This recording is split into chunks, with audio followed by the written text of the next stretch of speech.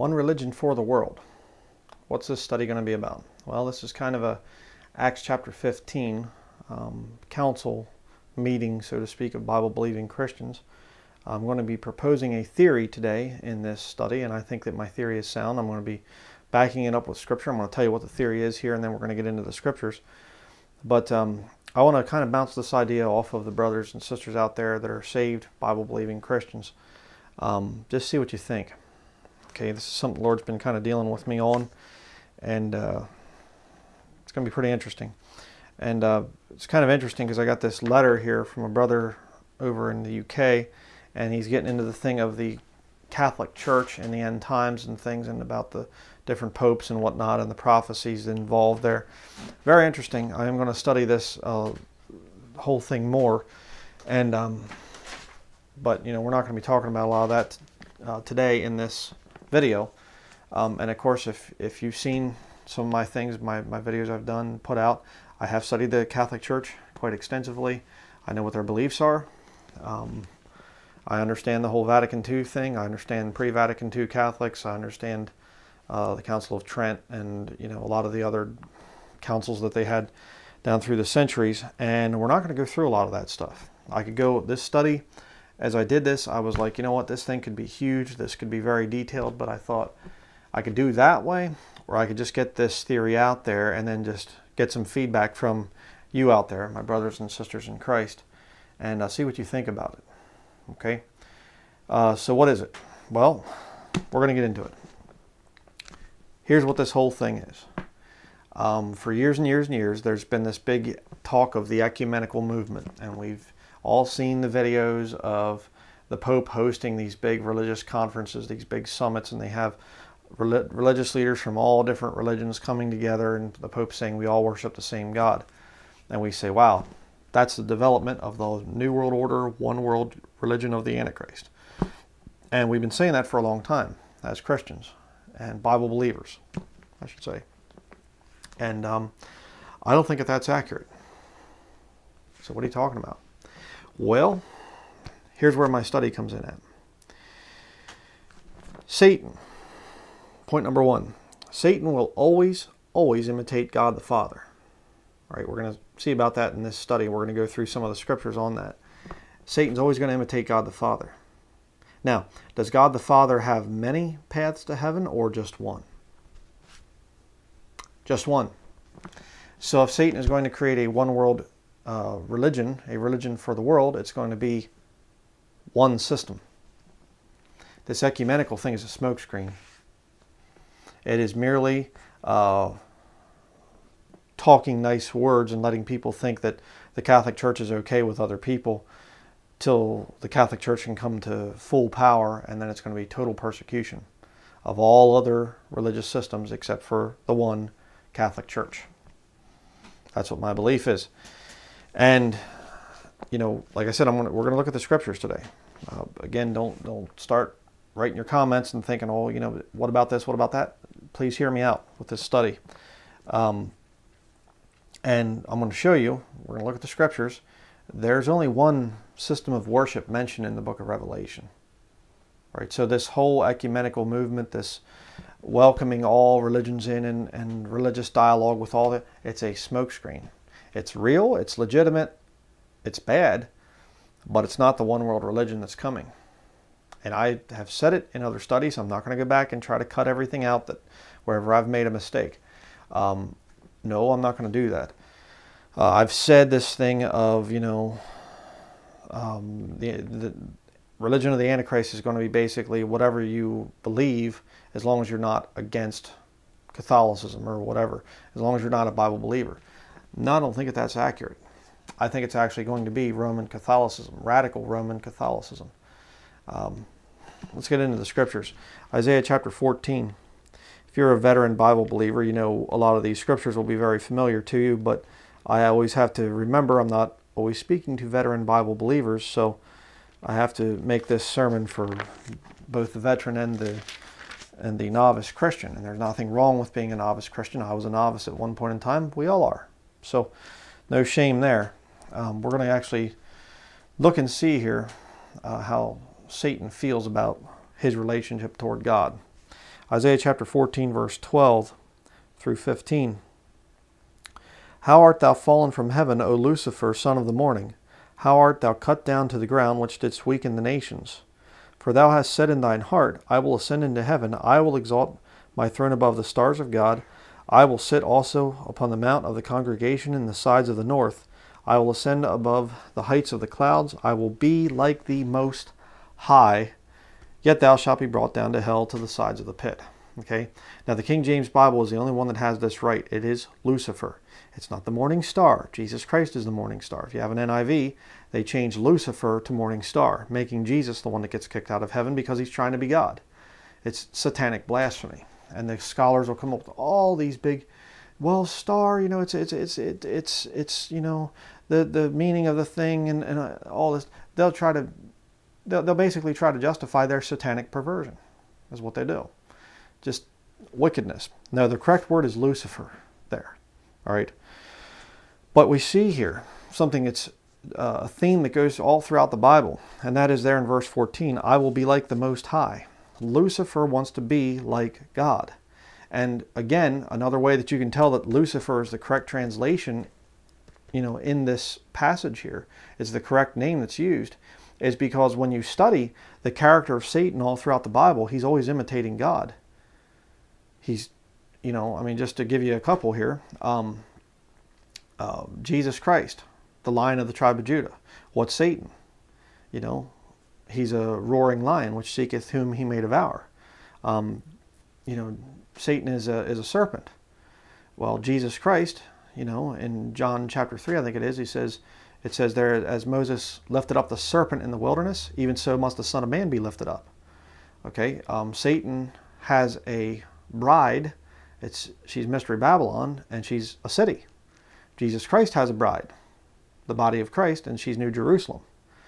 And I mean, it's just over and over and over and over again. I mean, I, I have a list in another sermon. I can't think of which one it is right now, but I have a whole list of places where the devil counterfeits the Lord.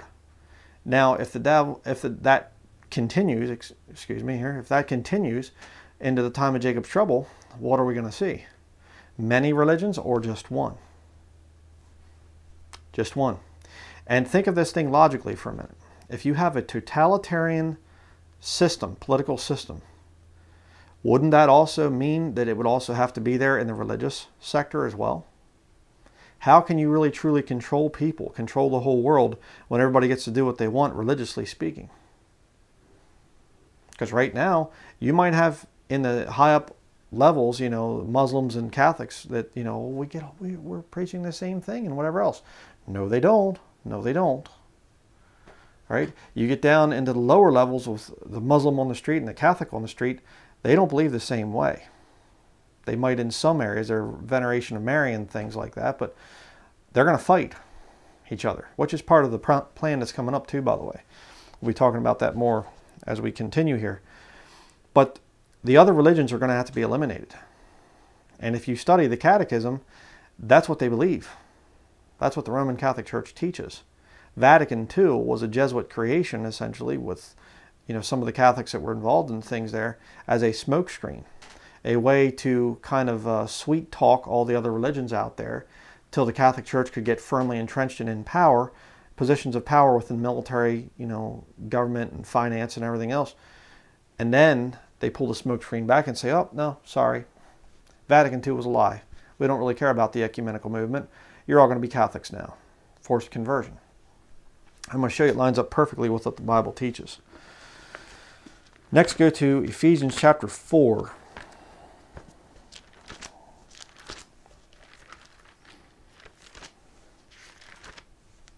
Ephesians chapter 4. So we see that Satan wants to copy the Lord.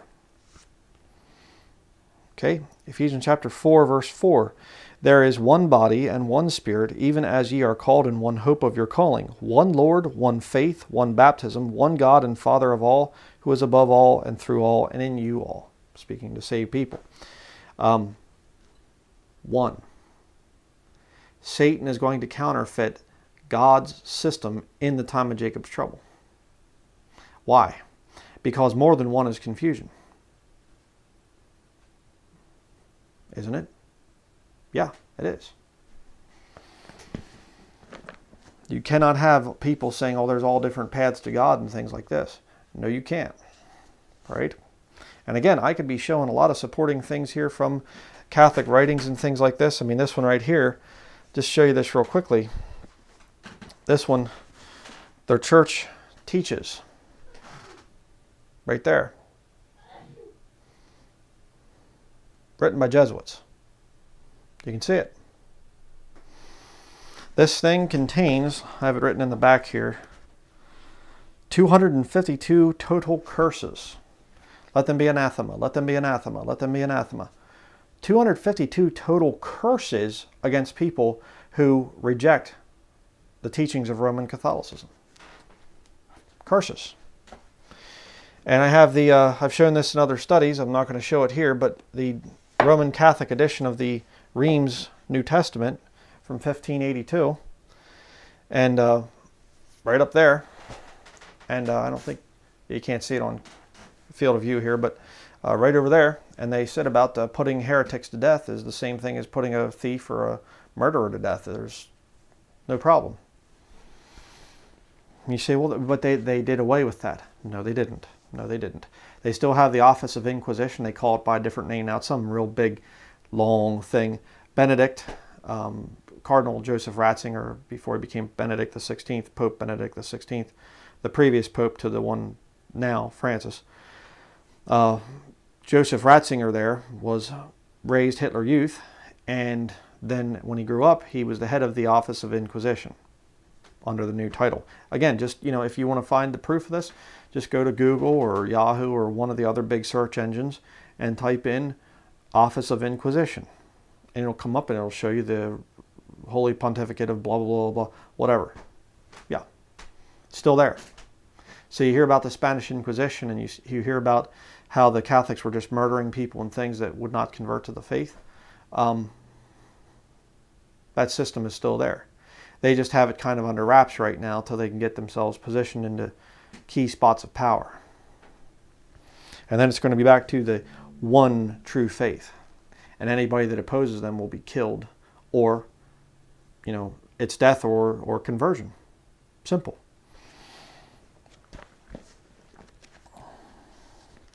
Let me show it to you again. Zechariah chapter 13.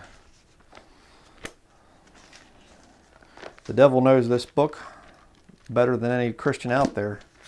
He was there the whole time the thing was being written, so he knows it. And he knows what it says about the future.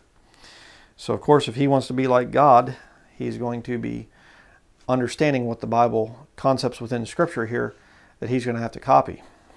Zechariah chapter 13, verse 2. This is talking about the millennial kingdom. It says here, And it shall come to pass in that day, saith the Lord of hosts, that I will cut off the names of the idols out of the land, and they shall no more be remembered, and also I will cause the prophets and the unclean spirit to pass out of the land. So in the millennial kingdom, there's only going to be one system of belief, only one. And it's going to be true salvation, and Jesus Christ is going to be ruling and reigning on the earth physically for the millennial kingdom. All right? Um, Catholicism rejects that. They call that heresy. Premillennial coming of Jesus Christ is heresy to a Roman Catholic.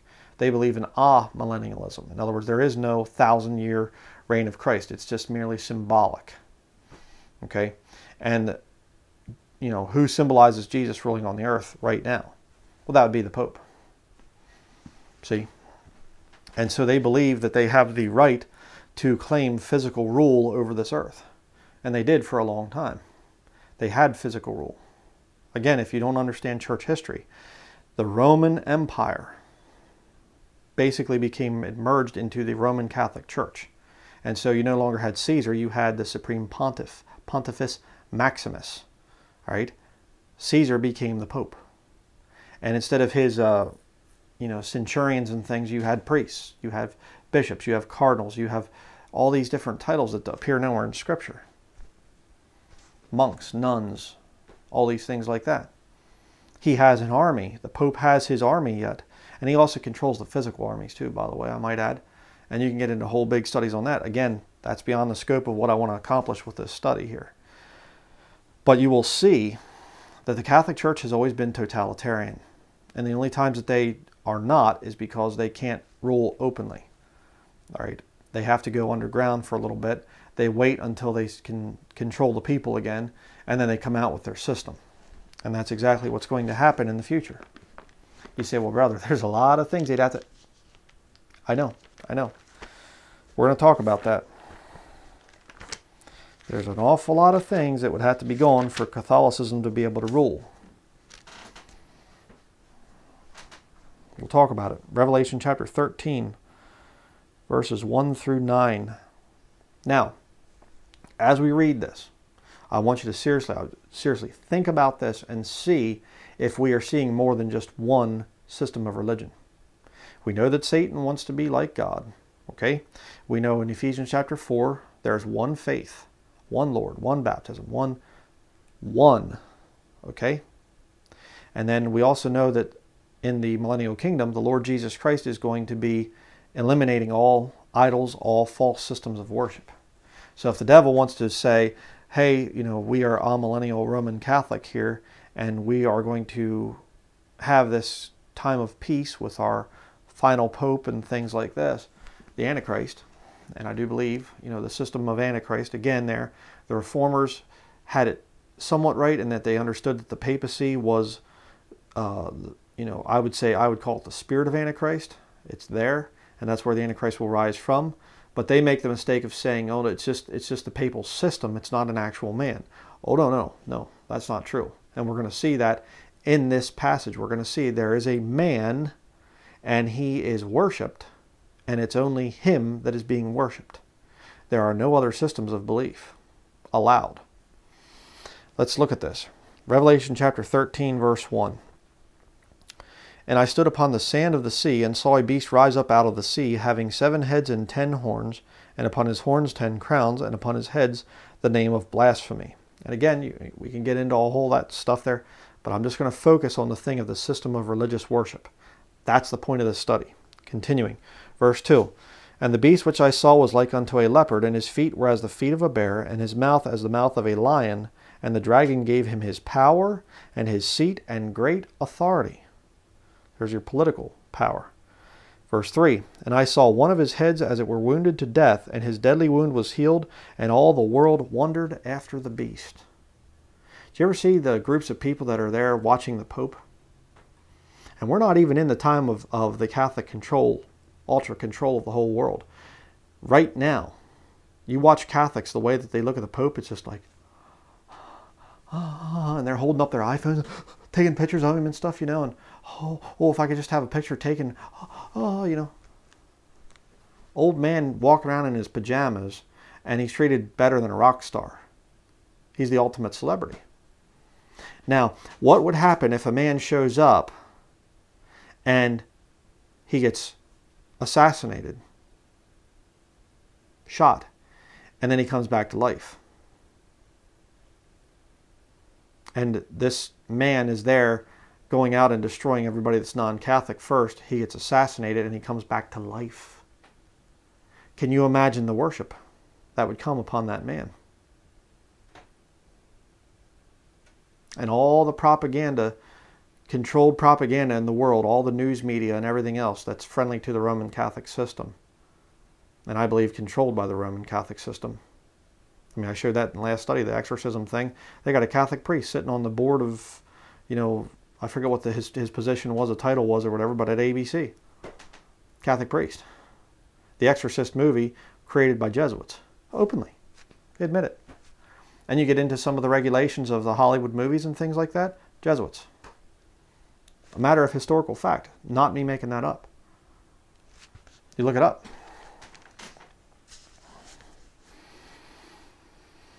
Something else. But let's continue. Look at verse 4. And they worshipped the dragon which gave power unto the beast, and they worshipped the beast, saying, Who is like unto the beast? Who is able to make war with him? Who's they? Let's keep reading. And there was given unto him a mouth speaking great things and blasphemies, and power was given unto him to continue forty and two months. And he opened his mouth in blasphemy against God, to blaspheme his name and his tabernacle, and them that dwell in heaven. And it was given unto him to make war with the saints, and to overcome them. and power was given him over all kindreds and tongues and nations.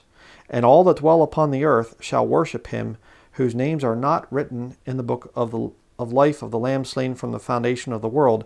If any man have an, hear, have an ear, let him hear. Now, you know, when the, the Lord writes that in His Word, if any man have an ear, let him hear.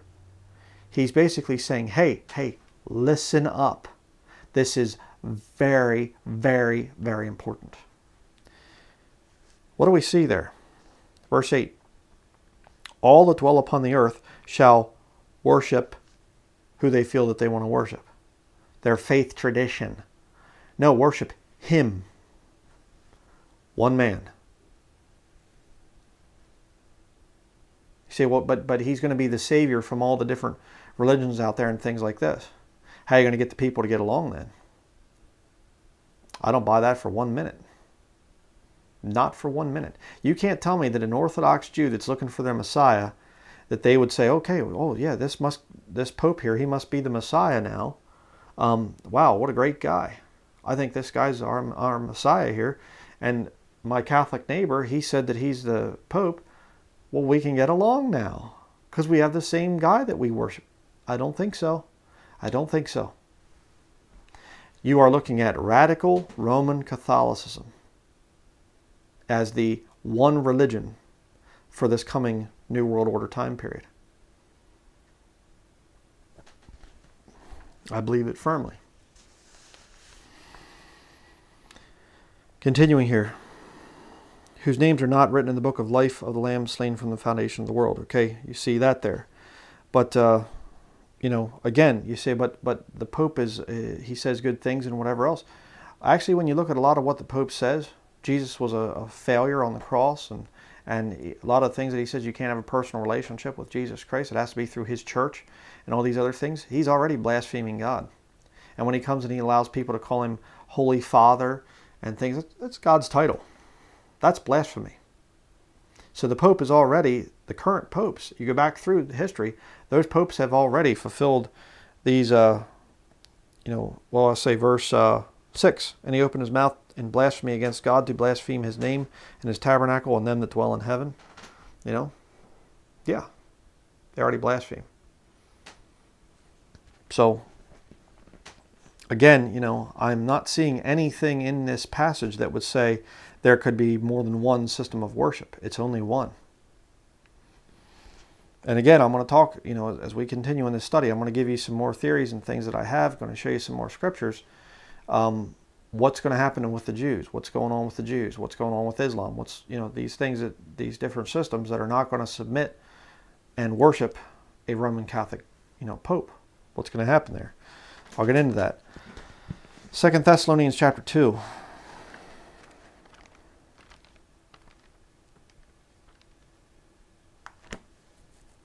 Second Thessalonians chapter 2 verse 3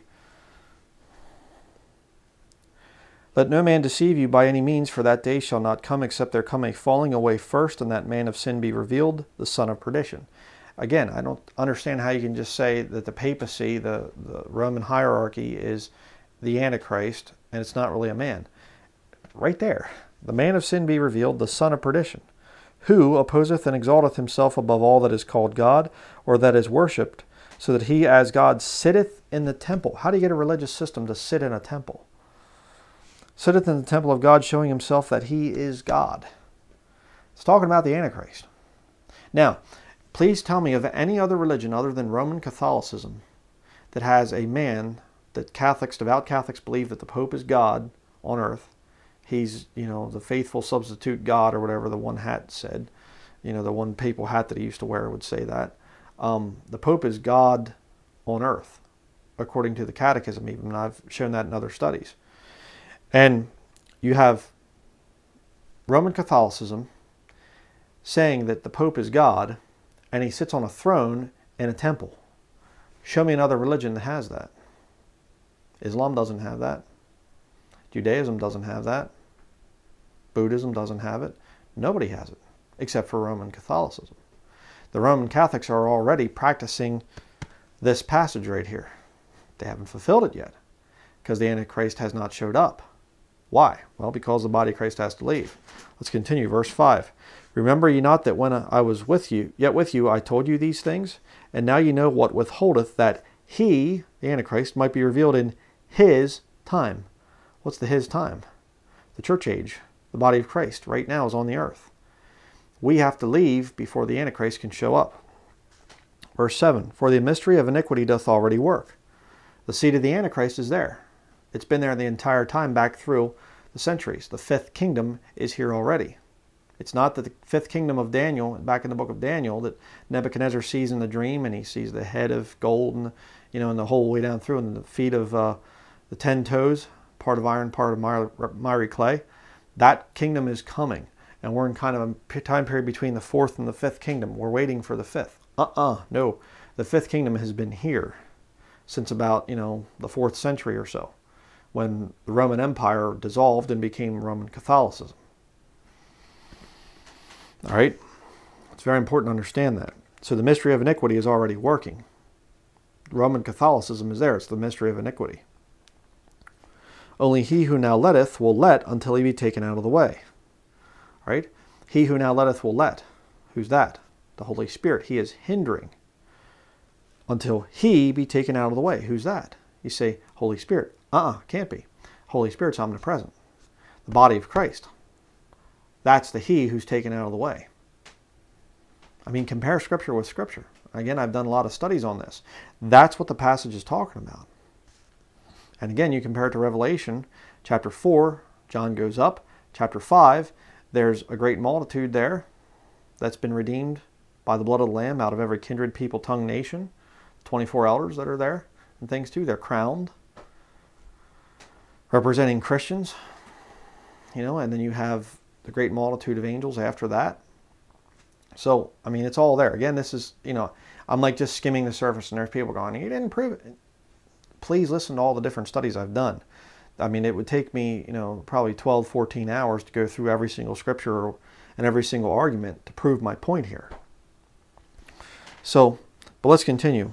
Verse 8 And then shall that wicked be revealed, whom the Lord shall consume with the spirit of his mouth, and shall destroy with the brightness of his coming even him whose coming is after the working of Satan with all power and signs and lying wonders. Didn't we just see that back in Revelation chapter 13? We just saw it there. The Antichrist, when he comes, the devil, the dragon in Revelation 13, gives him his seat and power and great authority. The working, even him whose coming is after the working of Satan with all power and signs and lying wonders. Right there you go. It lines up perfectly you see. But again, where is there anything at all even implied that all the religions of the world are going to come together and just all hug and kiss one another and stuff and all get along and you know that's not going to be there it's not going to be there brethren it is radical roman catholicism that is the one religion for the coming new world order roman catholicism not some you know, extremely complicated, difficult amalgamation of all the different religions of the world, and you have to kind of like, man, I got to study like 50 different religions to to be able to, you know, answer what's going to happen. There. Uh-uh, no, Roman Catholicism. That's been the enemy since day one. And you see, all of this, a lot of these other sects and cults and whatever else, they're daughters of Roman Catholicism. It all ties back.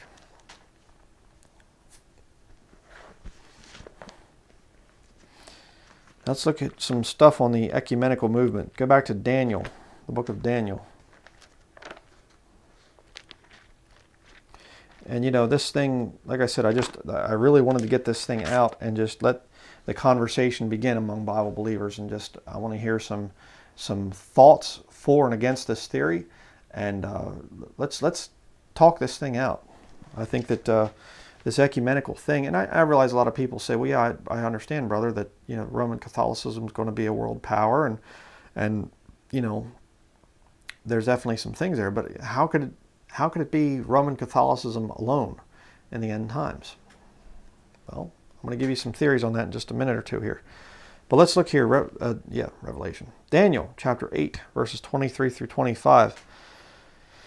This is talking about the Antichrist again And in the latter time of their kingdom, when the transgressors are come to the full, a king of fierce countenance and understanding dark sentences shall stand up, and his power shall be mighty, but not by his own power. What did we read? He has the power of Satan in 2 Thessalonians chapter 2. Revelation chapter 13, the, the dragon gives him his power, his seat, and great authority. It's what's, see, it lines up perfectly. And he shall destroy wonderfully, and shall prosper and practice, and shall destroy the mighty and the holy people. The holy people, there being a reference to the Jews in Israel. And through his policy also he shall cause craft to prosper in his hand, and he shall magnify himself in his heart, and by peace shall destroy many. He shall also stand up against the prince of princes, but he shall be broken without hand. Okay? A whole lot of things I could say there. And of course, you know, I was talking with a brother about this, and he said, you know, witchcraft is going to be the religion of the end times. Well, yes, it will be. But what is witchcraft?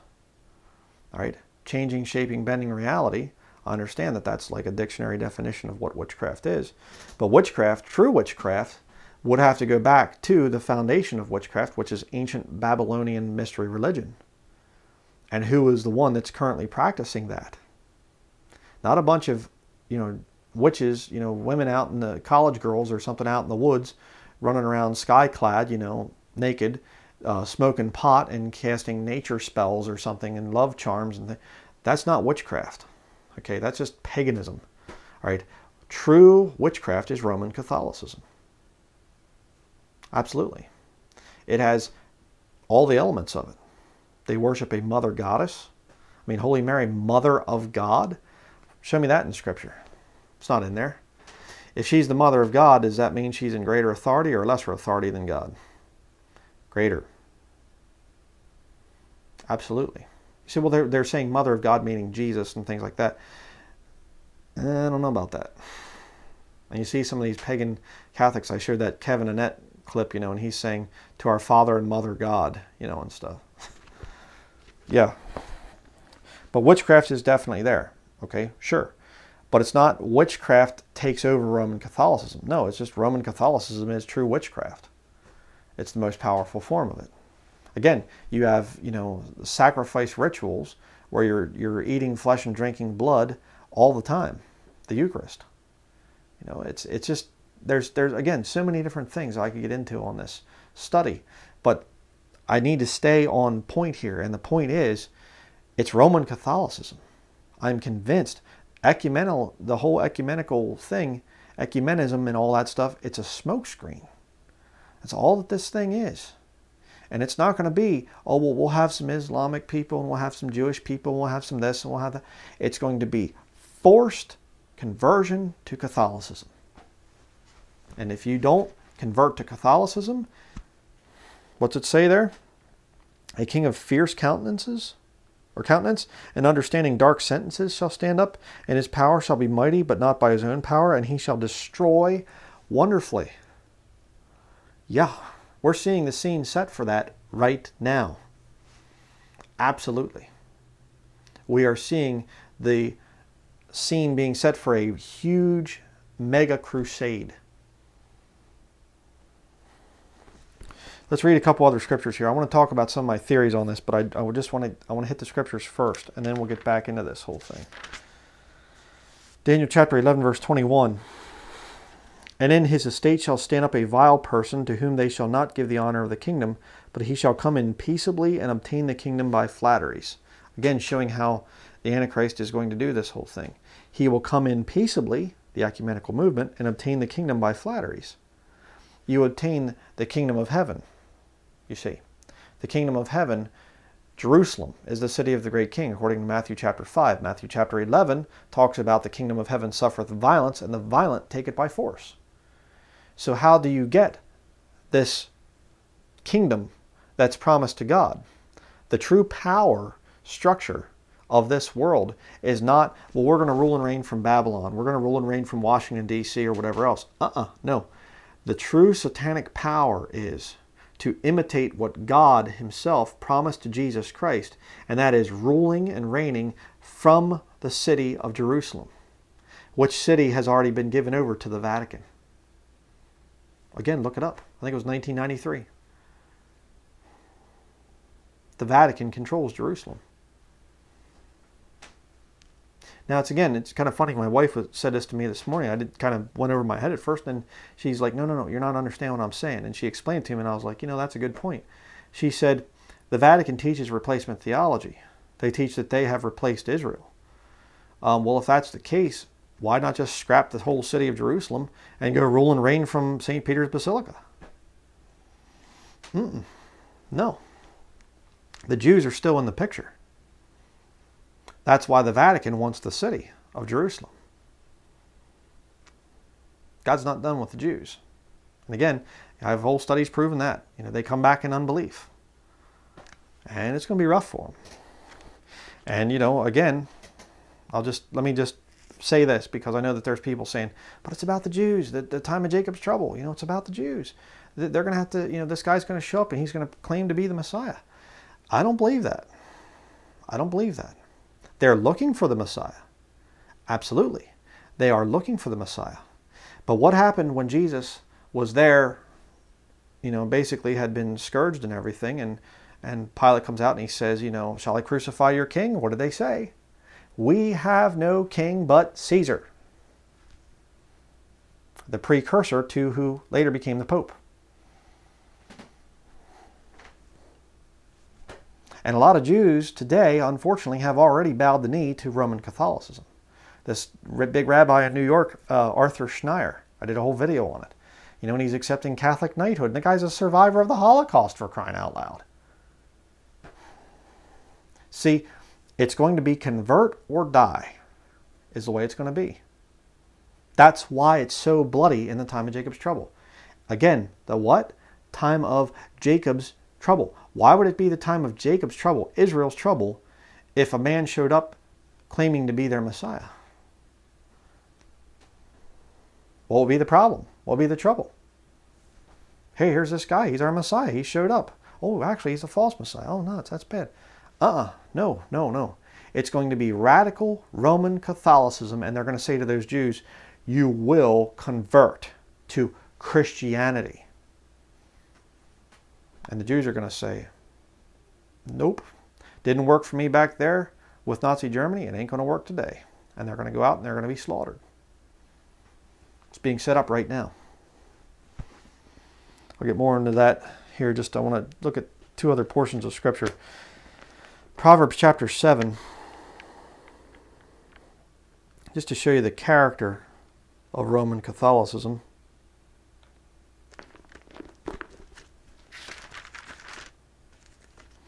Proverbs chapter 7, verse 6. We'll start there. For at the window of my house I looked through my casement, and beheld among the simple ones, I discerned among the youths a young man void of understanding. Now, this is talking about a harlot and how she'll do things. All right. But spiritually, it's talking, there's some spiritual application here to another harlot mentioned back in the book of Revelation. I thought it was kind of interesting. You have Proverbs chapter 7, Revelation chapter 17. Hmm. And what's the most significant number in the entire book of Revelation? Seven trumpets, seven, you know, vials, seven seals. Seven, seven, seven, the seven spirits of God, seven, seven, seven. I thought that was kind of interesting. Again, what's the devil trying to do? He tries to imitate God. God's number is seven. So the devil's bride, her number is seven. At least he tries to, you know. I know it's, you know, there's people probably out there going, the chapter numbers weren't inspired in. Yeah, whatever. Sorry for you. But, uh, but let's continue here. It's kind of these uh, people that are, you know, the, devoid of understanding. It's kind of like the people that are going and meeting with the Pope and, oh, it's so wonderful. You're accepting of us now. They're void of understanding. Verse 8. Proverbs 7, verse 8. Passing through the street near her corner, and he went the way to her house.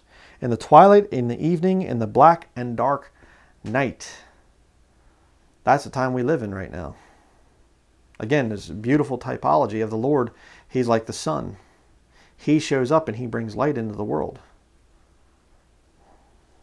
And now he went back to heaven, so now it's dark down here on the world, in the world, and the only light that we have is the moon. She reflects the light of the sun. So really neat, you know, stuff there. But it's dark here. Verse 10 And behold, there met him a woman with the attire of an harlot and subtle of heart. Roman Catholicism. She is loud and stubborn, her feet abide not in her house. Now is she without, now in the streets, and lieth in wait at every corner. Again, I talked about that. You know, right across, right over there, across that yard, is a full gospel, you know, Pentecostal church building, and they're flying Roman Catholic military banners. Again, why is the Catholic Church secretly sneaking into this and secretly doing that and stuff? What are they doing? Well, now she without now in the streets and lieth in wait at every corner. She goes out and she puts snares and traps and everything else out there. Is that what the, the Church of Jesus Christ would do? I don't think so. Verse 13 So she caught him and kissed him, and with an impudent face said unto him, I have peace offerings with me. This day have I paid my vows. Peace offerings with me. Hmm. Uh, what does the Antichrist do? He comes in peaceably. What does the Pope say? World Youth Day. We want world peace. It is my dream that one day we might all join our hands in peace. And she's a harlot, and she says, "I've, I've paid my peace offerings. I, I'm, I'm here, and I, I'm here for you, and I, and I love you." yeah, sure. Verse 15 Therefore came I forth to meet thee, diligently to seek thy face, and I have found thee.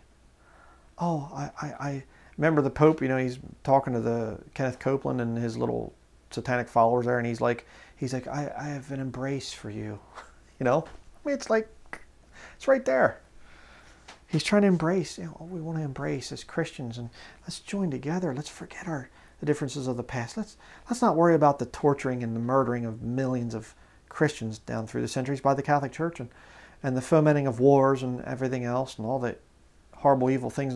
Let's forget that. Let's embrace. no, I don't think so. Verse 16 I have decked my bed with coverings of tapestry, with carved works, with fine linen of Egypt. I have perfumed my bed with myrrh, aloes, and cinnamon.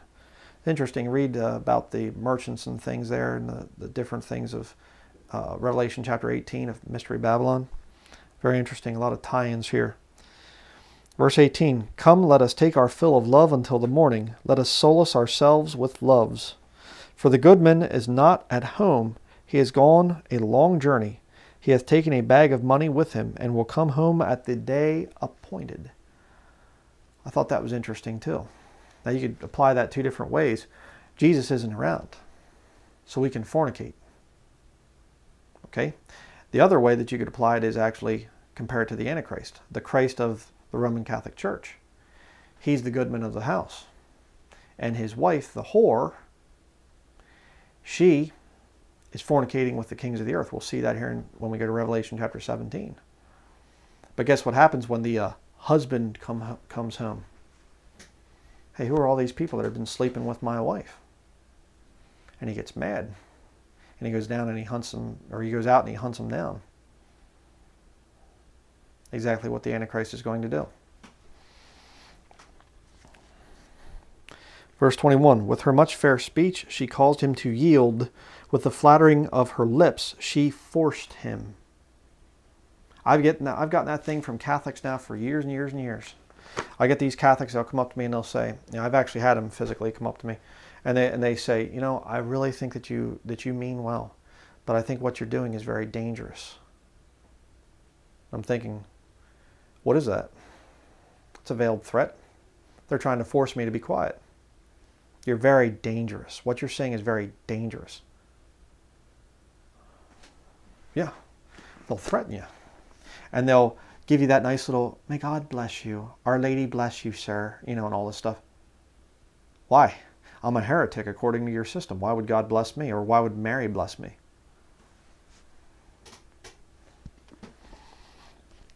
Verse 22 He goeth after her straightway, as an ox goeth to the slaughter.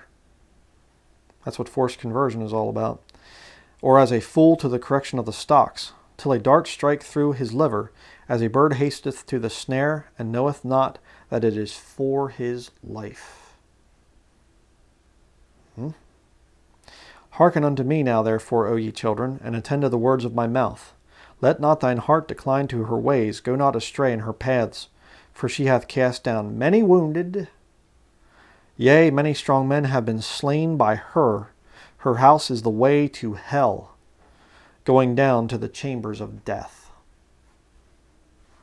Look at the history of Roman Catholicism.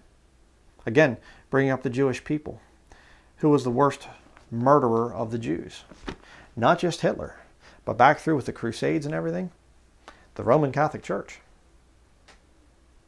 Yeah, we have no king but Caesar. They're going to do it again. You can already see it.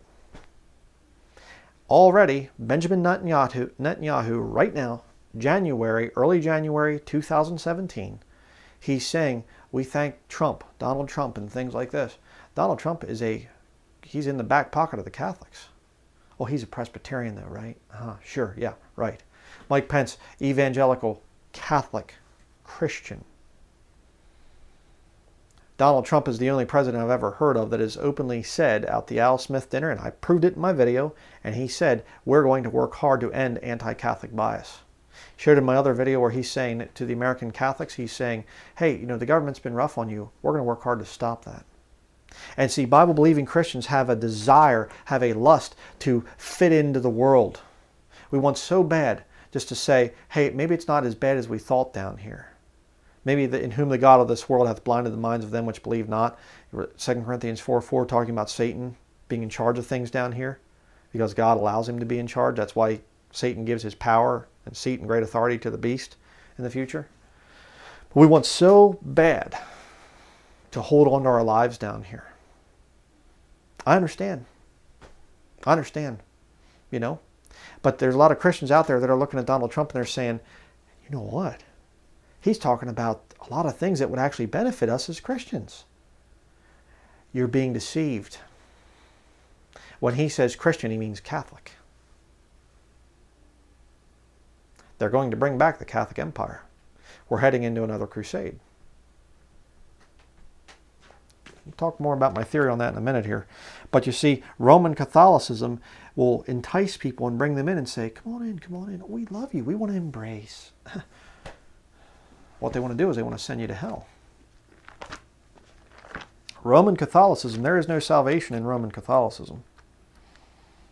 You say, well, what, could somebody get saved in Roman Catholicism? Yeah, but they'll get out. Absolutely.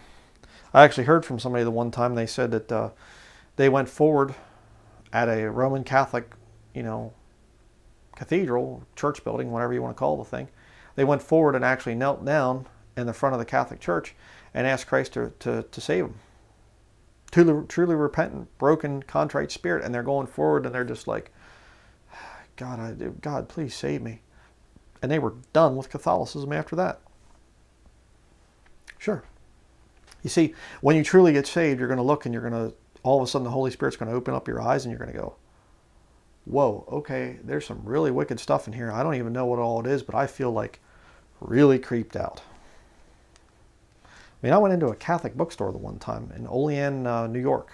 My wife and I went in there, and it was just like, uh, I could just feel like I really feel uneasy in here. I mean, it was like super creepy. I've been in Catholic churches too, and then stuff, you know, not a whole lot, but I've been, a, been in a couple. One in Costa Rica the one time. People are kneeling down on their knees and they're going forward saying their Hail Marys and rosaries and whatever else and stuff. And, and uh, armed guards standing around with, you know, automatic machine guns. That'll be in every church building eventually. Um, but, you know, and I'm, I'm like walking through this thing like, okay, you know, this is really, really creepy. And I wasn't even saved at that time, by the way. So, but I could still sense some things. But let's look here at a couple verses in Revelation chapter 17. I'm going to give you a couple more of my theories here and then we'll be done. Revelation chapter 17, verse 1. And there came one of the seven angels which had the seven vials and talked with me, saying unto me, Come hither, and I will show unto thee the judgment of the great whore that sitteth upon many waters with whom the kings of the earth have committed fornication, and the inhabitants of the earth have been made drunk with the wine of her fornication. So he carried me away in the spirit into the wilderness, and I saw a woman sit upon a scar- scarlet collared beast full of names of blasphemy, having seven heads and ten horns. Okay, if a woman is sitting on top of the beast, who's in control? The woman or the beast? Well, that would be the woman. You know, Beauty and the Beast. You know, I won't get into that, but, uh, you know, yeah. The Roman Catholic whore controls the beast, the Antichrist. Verse 4 And the woman was arrayed in purple and scarlet collar, and decked with gold and precious stones and pearls, having a golden cup in her hand full of abominations and filthiness of her fornication. Again, I mean, is there any doubt who this is? Purple and scarlet collar. I mean, I, I've proved this thing in study after study after study, and people still say it's it's America, or it's Israel. Huh? Ridiculous. Verse five and upon her forehead was a name written Mystery Babylon the Great, the mother of harlots and abominations of the earth. So again, you know, oh, oh, you think the Catholic Church is behind everything. She's the mother of abominations of the earth. There in verse 5. It's not that I think it, God's word says it, so I believe it. Verse 6 and I saw the woman drunken with the blood of the saints and with the mar- blood of the martyrs of Jesus. And when I saw her, I wondered with great admiration. Okay, again, she's drunken with the blood of the saints and martyrs of Jesus. That can't be America. America hasn't wholesale slaughtered Bible believing Christians. Israel has not wholesale slaughtered Bible believing Christians. You know, give me a break. It's Roman Catholicism. Study church history for crying out loud unless you go to a Catholic, then Fox's Book of Martyrs is Protestant propaganda and stuff like this, and the and Martyr's Mirror and all these other things. It's all just lies that Protestants came up with. Sure, sure. Verse 7 And the angel said unto me, Wherefore didst thou marvel? I will tell thee the mystery of the woman and of the beast that carrieth her, which had the, hath the seven heads and ten horns. All right. Now we'll stop there. I mean, you can get into this whole thing, but again, what I want to prove by this study is I don't see any justification at all, anything in Scripture. And, and put scriptures down in the comment box if you think I'm wrong. Show me scriptures that say uh, that there's going to be multiple religions in the book of Revelation in the end times. I only see one. Okay? I only see one. And it's going to be the final fulfillment of what the Vatican has been trying to, to achieve for centuries, and that is total world dominion, total world domination, I should say it that way, and a supernatural devil sitting on the papal throne. That's what's going to be there. You say, okay, brother, but what about Islam? That's where I wanted to get to. Here's what I believe the scenario is going to be, right? And this is just my theory. I'm just throwing this thing out there. I'm not te- teaching this as Bible doctrine, okay? My theory is this goes like this Islam, if you study the Alberto comic on it and things, um, and you look at some of the history of it, look at some of the beliefs of Islam, they, they both they, they venerate Mary. You know, they have a whole chapter of the Quran is on Mary. Um, I believe Islam was created by Roman Catholicism for the purpose of going after the Jews, and you know they kind of got out of hand a little bit. But I think that the Catholic Church has always desired to destroy Islam completely, fully destroy them. And all this peace talk, talk stuff and things, and Muslim, you know, Islamic imams and the Pope coming out and saying, "Oh, Muslims and us, we're all the same." It's all a lie. It's uh, the whore, Proverbs chapter seven, Revelation seventeen. That whore doing a uh, you know enticing pillow talk, so to speak, to the those that are gullible enough to believe her. And she's saying, I love you. Let's embrace. Oh, can't we just get along and things? And so, on that level, you have that where the Catholic Church is trying to woo in the Muslims and, and just make them stay asleep long enough to the military power of what will eventually become the Antichrist army. But right now, it's it's just a world army. Um, stick with me here for a minute.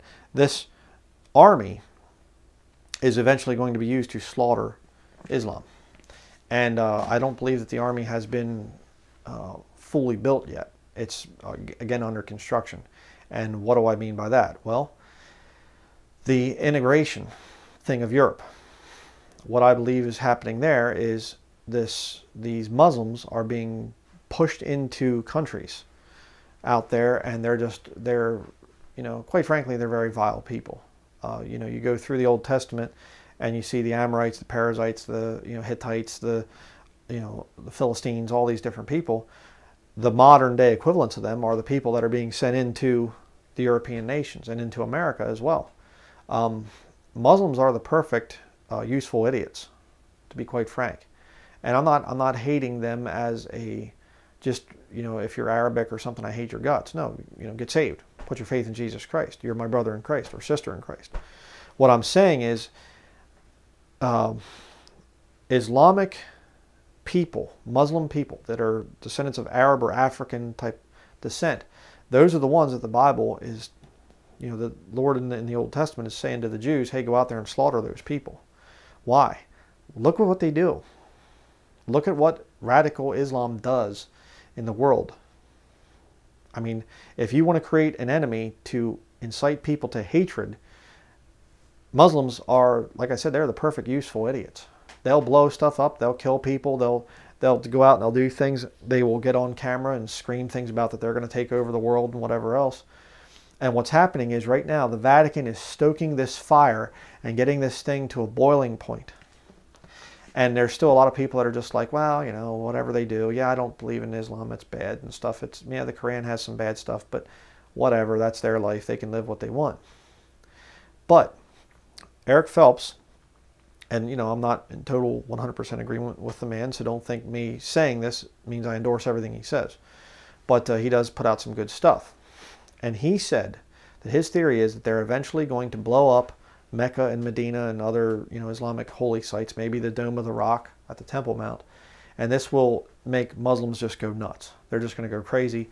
And instead of just being one guy driving a truck into a crowd of people or something, I saw it happen in, in Israel here, like within the last 24 hours. And uh, instead of that happening, you know, one or two times every month or whatever else, and you see a shooting or a stabbing or a this or a that, it's going to be hundreds of times a day. Muslims, men, women, whoever, they're going to be just going berserk. And what's going to happen is that will be used by Roman Catholicism to unite Protestantism and Catholicism as one because nothing unites better than war. You know, what are you going to do? I mean, if there are Muslims that come to this area and they're raping, stealing, killing, destroying, whatever else, I'm going to fight them. I'm not going to say, well, let me go out and pass out some gospel tracts to them. I'll pass out the gospel tracts to them now. That's not a war situation.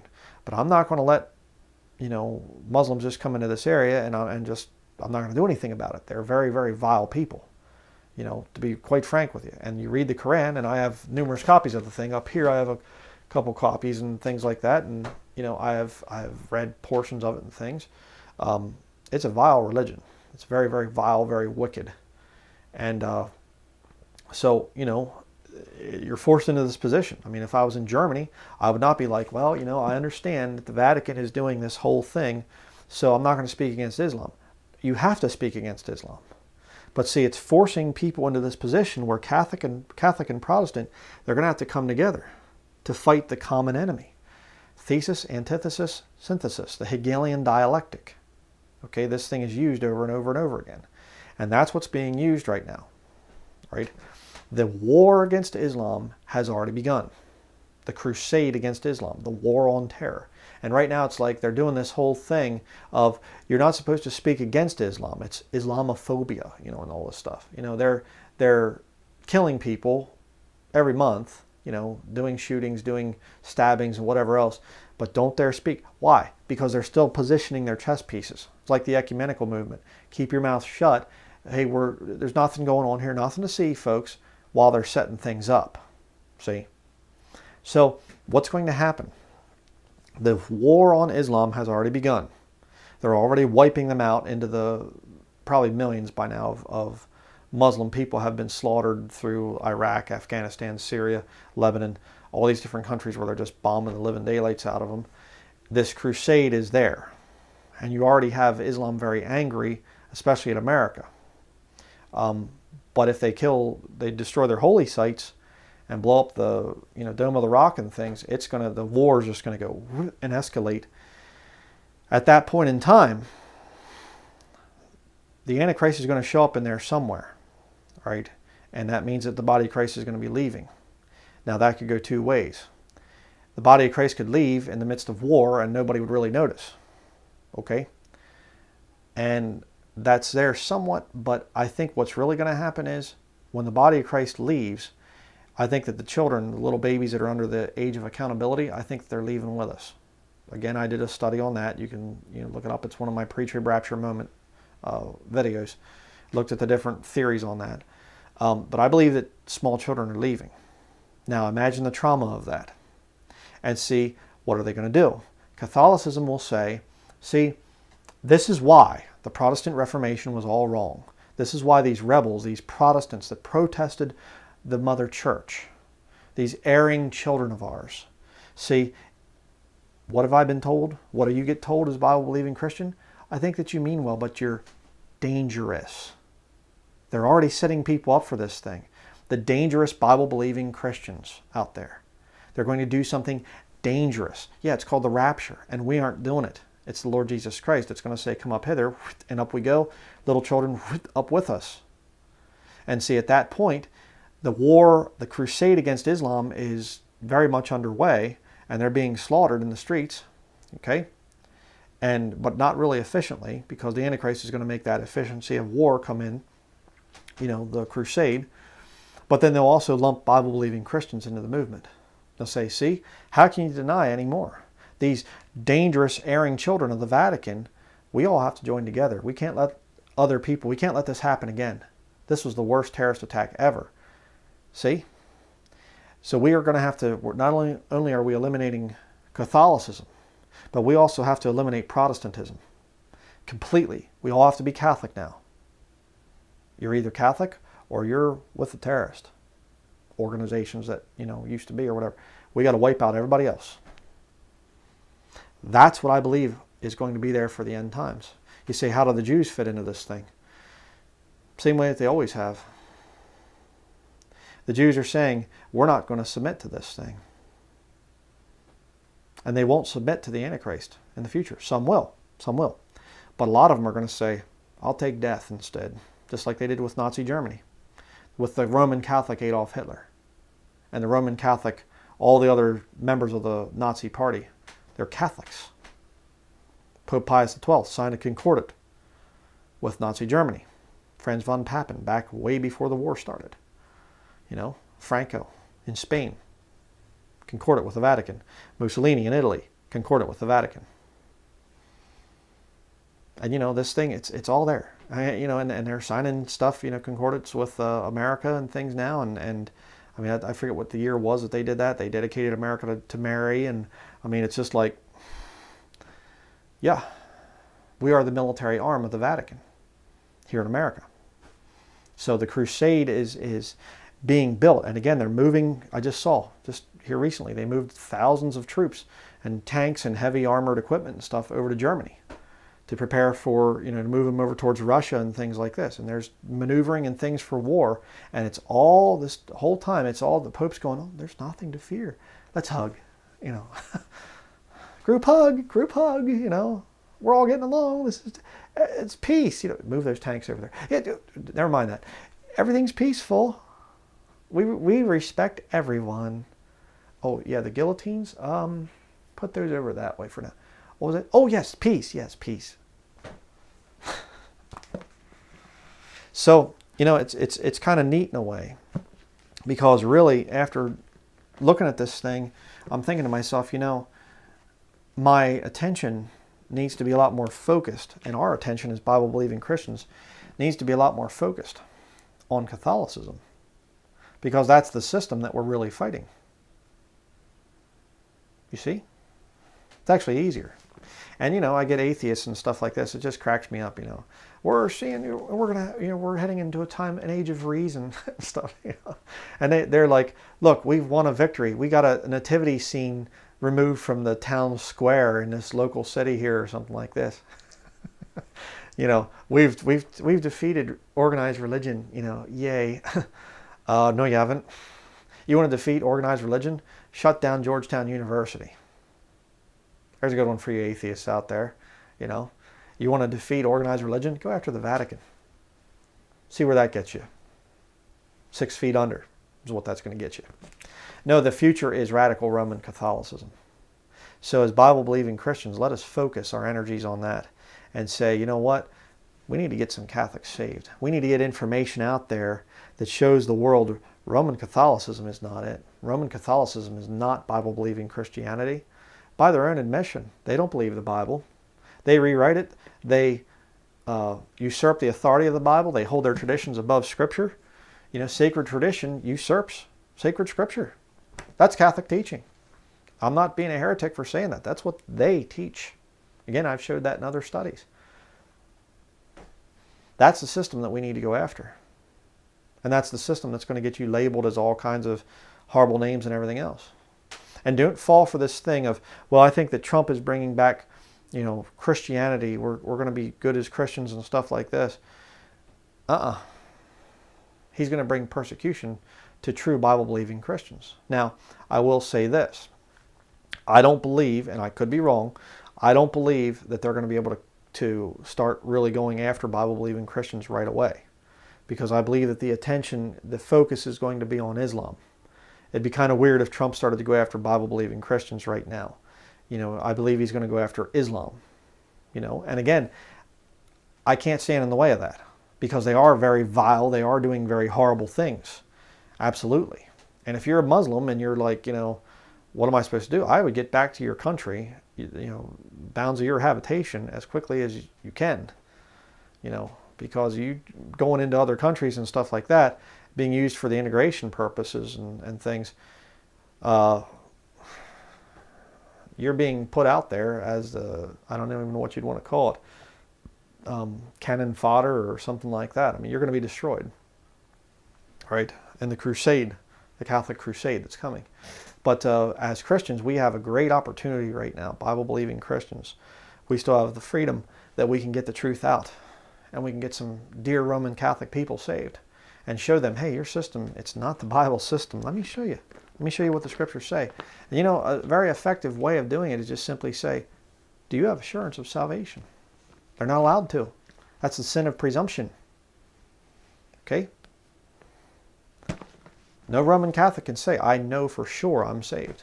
I know if I died right now, I'd go to heaven. They can't say that.